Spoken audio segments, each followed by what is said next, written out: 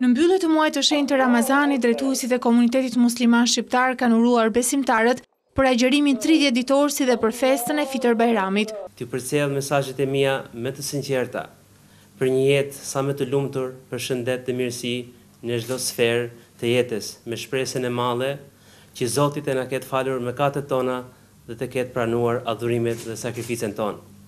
Muaji i Ramazanit kulmon me festën e Bajramit, e cila vjen si kurorëzim i sakrificës tridhjetë ditore të agjërimit, nga lindja e diellit deri në perëndimin e tij.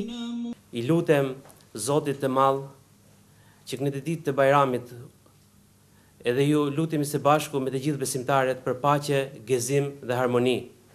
Për shuarjen e luftrave dhe konflikteve anë e mbarë globit.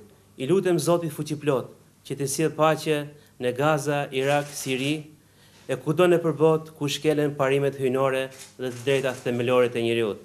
Ceremonia e faljes së Bajramit do të bëhet si çdo vit në Bulevardin Dëshmorët e Kombit në orën gjashtë e njëzet e tre.